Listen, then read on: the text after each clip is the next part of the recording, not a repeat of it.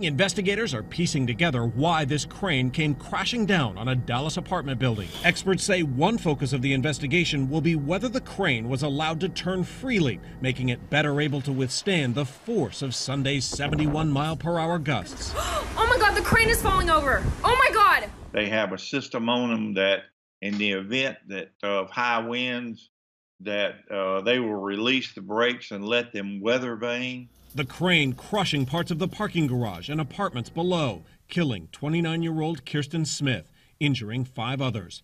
Experts say these massive towers, rising hundreds of feet, are built to withstand high winds. I'm not going to say high winds can't cannot blow one down, but I would say this, it would take a substantial amount. The crane's owner, Bigge, has been hit with 17 OSHA safety violations since 2013.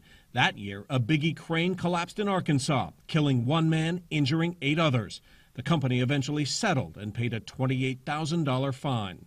Crane accidents in crowded urban spaces are known to be deadly. In April, a crane collapsed onto a downtown Seattle street, killing four. Oh, it's falling, it's falling. Oh, it broke. Oh, and this horrifying moment in New York City in 2016 a crane falling, killing one, and injuring three. Now in Dallas, officials trying to determine if this latest incident was preventable.